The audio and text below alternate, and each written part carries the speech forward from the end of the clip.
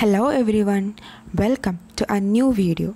In this video, we'll learn about cerebral hemisphere gross anatomy.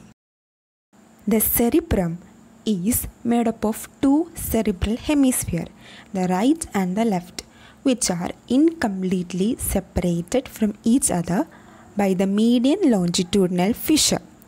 The two hemispheres are connected to each other across the median plane by the corpus callosum. Each hemisphere contains a cavity called lateral ventricle.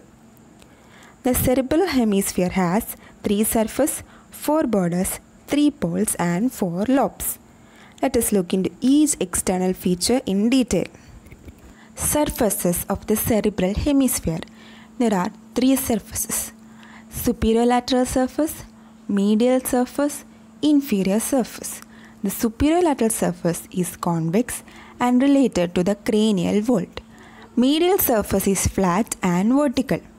The inferior surface is irregular. It is again divided into anterior part that is the orbital surface and posterior part that is the tentorial surface. It has four borders superior medial border which separates superior lateral surface from the medial surface. Inferior lateral border that separates superior lateral surface from the inferior surface. Medial orbital border separates medial surface from the orbital surface. Medial occipital border that separates medial surface from the tentorial surface the cerebral hemisphere has three poles. Frontal pole, which is at the anterior end. Occipital pole, which is at the posterior end. Temporal pole, at the anterior end of the temporal lobe. Each of the cerebral hemisphere is divided into four lobes.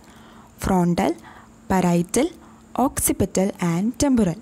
Their positions correspond roughly to that of the bones.